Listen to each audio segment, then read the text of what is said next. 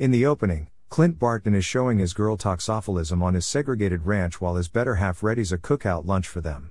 Out of nowhere, Clint's girl disappears and the remainder of Clint's family crumbles, alongside half of all life across the universe, the consequence of Thanos snapping his fingers subsequent to procuring every one of the six limitlessness stones. Cloud and Tony Distinct are abandoned in space following their loss by Thanos on Titan, yet are gotten back to Earth via him Danvers and rejoined with Natasha Romanoff, Bruce Standard, Steve Rogers, Rocket, Thor, and James Rhodes. The group figures out how to take the Endlessness stones back from Thanos and use them to switch his activities, yet learn after finding him that he had utilized the stones a second chance to obliterate them, forestalling their further use. He lets the leftover Justice fighters know that he did as such to try not to involve the stones for additional detestable purposes. Rankled, Thor decapitates Thanos, saying it's what he ought to have done in Wakanda. After five years, Scott Lang escapes from the quantum domain to find that his girl Cassie is presently a young person and that Trust Van Dyne, alongside half of the populace, has vanished in the snap. Rogers has been driving despondency advising meetings for survivors actually battling with the impacts of the snap, while Romanoff is resolutely overseeing both Earth and the remainder of the universe with the assistance of Rhodes, Danvers, Okoye, Rocket, and Cloud. Lang goes to Romanoff and Rogers, and makes sense of that while five years had passed for them, just five hours had passed for him in the quantum domain, and that time extends much distinctively there. The three go to Unmistakable, who is currently bringing up a youngster with Pepper Potts, and make sense of their hypothesis that the quantum domain can be utilized to travel once more into the past and take the Endlessness stones before Thanos can gather them. Unmistakable at first oddballs their proposition with worry about taking a chance with his family and the harmony he has found, yet subsequent to reflecting upon the deficiency of Peter Parker chooses to test hypothetical models that would work with Lang's quantum burrow, in the long run tracking down one that works. With Unmistakable now ready the excess justice fighters set off to reassemble their group. Bruce Standard has now embraced the mass as a piece of him, and has merged his own cognizance and the mass together into one. Romanoff, subsequent to hearing reports from Rhodes of a professional killer that works with comparable strategies to Barton, passes on to track down him. Barton, consumed with despondency after the deficiency of his family, has been working under the mantle Ronin while severely slaughtering criminal cartels and posses all over the planet to attempt to work on the world that is still left. Natasha tracks down him in Japan and after some persuading, he consents to rejoin the group to attempt to bring his family back. Standard and Rocket go to the unassuming community of New Asgard, where Valkyrie and the last overcomers of Asgard have settled. They there find Thor, who has become overpowered by culpability over neglecting to kill Thanos in Wakanda. Thor has become overweight, his hair and facial hair are congested, and he invests his free energy eating low quality food, becoming inebriated, and playing Fortnite with his companions Korg and Miek. Thor hesitantly consents to get back to the Vindicators after some persuading from Rocket and Pennant. Subsequent to testing the quantum time machine on Barton, who affirms that it works, the Vindicators are brought together with an arrangement Standard, Rogers, Lang, and Obvious set out to recover the time, psyche, and space stones during the clash of New York in 2012. Standard goes to the Sanctum Sanctorum, where he is educated by the Old One that requiring some investment stone from her course of events would forestall Stephen Peculiar's future endeavors to prevent Kaecilius from obliterating the laws of nature. In any case, when Standard tells her that Unusual surrender the Time Stone enthusiastically to Thanos, she permits Pennant to make them suggest, Bizarre had expected for a particular grouping of occasions to happen for Thanos to be crushed. Standard likewise guarantees the stone's revisitation of their legitimate courses of events to forestall any evil impacts. Lang and Distinct endeavor to take the Space Stone after the Vindicator seize it from Loki. Lang gives Unmistakable's previous self a gentle heart failure by pulling a circuit in his counterfeit heart, while Obvious takes the folder case lodging the Tesseract when no one is looking.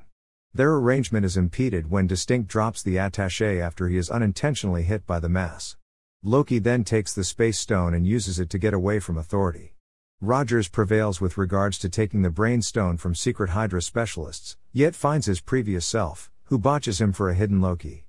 In the wake of overcoming past Steve, Rogers gets back together with Unmistakable and Lang, who currently should sort out one more method for getting the Space Stone without running out of the restricted stockpile of Pym particles that permit them to go through the quantum domain. Lang gets back to the present with the Psyche Stone while Rogers and Obvious devise an arrangement to take the Space Stone from a U.S. Armed Force establishment during the 1970s, while likewise taking further vials of Pym particles to make the excursion back home. While there, Rogers cites Peggy Carter and Obvious has a significant discussion with his dad Howard. Rocket and Thor travel to Asgard to recover the Truth Stone before Malekith utilizes it against the Nine Domains. While in Asgard, Thor is reminded that his mom, Frigga, would pass on soon and gets an opportunity experience with her while Rocket takes the Ether, the disintegrated variant of the Truth Stone, from Jane and Courage. The two revisitation of Earth after Frigga directs Thor and he recovers his mallet Mjolnir, thrilled to find that he is as yet deserving of it. Cloud and Rhodes travel to Morag to take the Power Stone before Peter Plume does. As Rhodes gets back to the present with the Power Stone, Cloud breakdowns and stays on Morag. With two consciousnesses working on Cloud's frameworks, Thanos and Darkthroat find the presence of future Cloud and go to hijack her. Cloud acknowledges what has occurred and attempts to caution the others, however, is past the point of no return. Thanos filters her recollections and finds the Justice Fighters arrangement, and sends the more steadfast past Cloud back to the present as a government operative. Barton and Romanoff travel to Vormir to recover the Spirit Stone, however, are clashed when Red Skull, attendant of the stone, illuminates them that it must be recovered by forfeiting somebody they love. The two battle about which will make the penance, with Romanoff eventually accepting any consequence, while an upset Barton gets back to Earth with the Spirit Stone. After everybody has gotten back to the present on the planet, Distinct, Rocket, and Pennant set off on a mission to create a glove to use the stones, one built from the equivalent nanotech of Unmistakable's most recent Iron Man suit.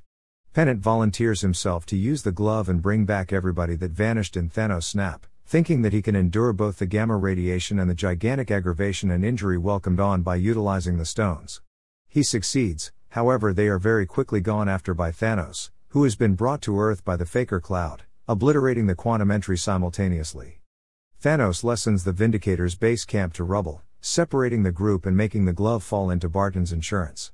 The previous Cloud is killed by her future self as she endeavors to take the Boundlessness stones from Barton, while Rogers, Thor, and Distinct face Thanos, who concludes he will rather utilize the Limitlessness stones to annihilate the universe and make one in his vision.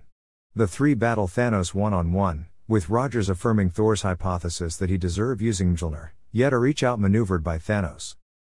Not long after Thanos' military grounds on the planet, T'Challa shows up before Rogers, alongside the Justice Fighters in general and different partners restored by Flag, prior to sending off an attack on Thanos and his military. After an extended fight during which Obvious is brought together with Parker and Plume is brought together with past Gamora, Thanos grapples with various Vindicators for the Boundlessness Stones. Following the fight, the Vindicators hold a memorial service for Distinct, whose imprint I Bend reactor is drifted out on the lake close to his home. Barton and Wanda Maximoff take comfort in the way that Romanoff and Vision, who didn't return in the snap, would be pleased with their triumph over Thanos. Thor makes Valkyrie the sovereign of Asgard and joins the gatekeepers of the system to track down his actual reason, liberated from the weight of eminence and administration without precedent for his life. Barton gets back to his family and Parker gets back to school, where he is brought together with his closest companion Ned. In the meantime, Rogers is entrusted to go into the past to return the stones and Thor's sledge to their unique courses of events, yet chooses not to get back to the present and to rather carry on with the remainder of his life in the past with Carter. He returns before Sam Wilson and Bucky Barnes as an elderly person, and passes his safeguard and the mantle of Chief America onto Wilson.